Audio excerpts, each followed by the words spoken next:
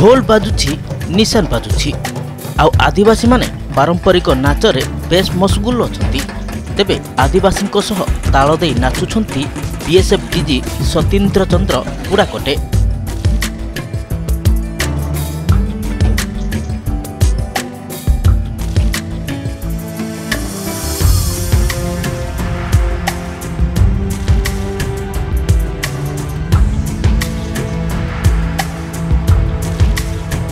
ରାମଗିରି ଗସ୍ତରେ ଯାଇଥିବା ବେଳେ ଏକ କାର୍ଯ୍ୟକ୍ରମ ଅନୁଷ୍ଠିତ ହୋଇଥିଲା। ରାମଗିରି ବିଏସ୍ଏଫ୍ ଶହେ ଏକାବନ ବାଟାଲିୟନ ତରଫରୁ ଡିଜିଙ୍କୁ ସ୍ୱାଗତ ଅଭିବାଦନ ପ୍ରଦାନ କରାଯାଇଥିଲା। ଏହି ଅବସରରେ ବିଏସ୍ଏଫ୍ ଡିଆଇଜି ମଦନଲାଲ ଏବଂ ବୈପାରିଗୁଡ଼ା ଶହେ ଏକାବନ ବାଟାଲିୟନର କମାଣ୍ଡାଣ୍ଟ ଅଜୟ କୁମାର ଉପସ୍ଥିତ ଥିଲେ।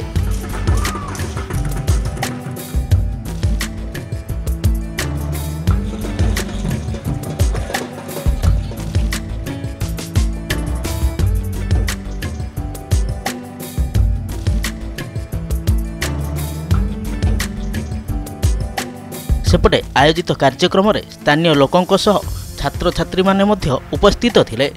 ତେବେ ଅନୁଷ୍ଠିତ ହୋଇଥିବା ଡଗ୍ ଶୋ ଛାତ୍ରଛାତ୍ରୀଙ୍କୁ ବେଶ୍ ଆମୋଦିତ କରିଥିଲା। ସେପଟେ ସୁରକ୍ଷା ସାଙ୍ଗକୁ ଲୋକଙ୍କ ବିକାଶ ଉପରେ ମଧ୍ୟ ଆଲୋଚନା କରାଯାଇଥିଲା।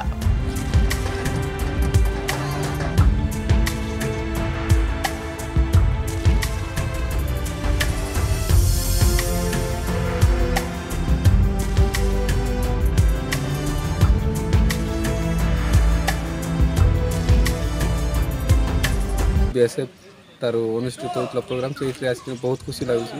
ବହୁତ ଆମେ ଏଇଠି ଆସିକିନା କିଛି ଦେଖିପାରିଛୁ ଆଉ ବହୁତ ତାଙ୍କଠାରୁ କ'ଣ ଟ୍ରେନିଂ ନେଉଛନ୍ତି କ'ଣ କରୁଛନ୍ତି ଏ ସ୍କୁଲ ପିଲାଙ୍କୁ ଗାଁରେ ହଉ ସାମଗ୍ରୀ ସବୁ ତାଙ୍କେ ଦେଉଛନ୍ତି ସେଇଟା ଦେଖି ଆମେ ବହୁତ ଖୁସି ଲାଗୁଛି। ଦୁଇଥର ହେଇଗଲାଣି ତାଙ୍କର ବିଏସ୍ଏଫ୍ ପେପର୍ ଏ ବର୍ଷ ଆମେ ଦଲପୁରରେ ବି ଯାଇଥିଲୁ ଏଇଟା ସେକେଣ୍ଡ ଥର ଆସିଛୁ।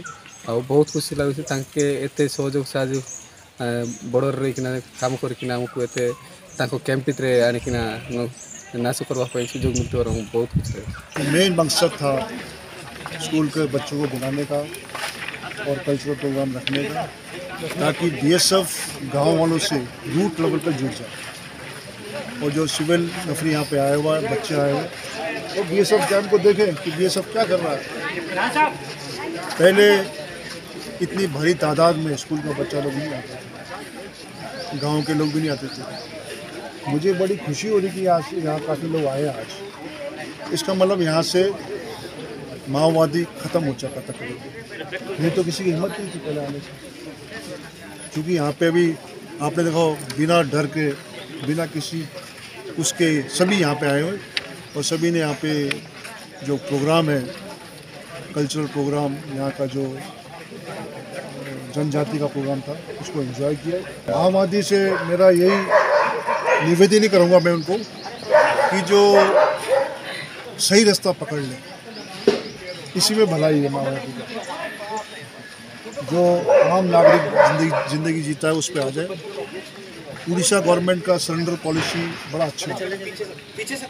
सरेंडर कर लें अपना आप को, ताकि उड़ीसा राज्य में और भी प्रोग्रेस हो।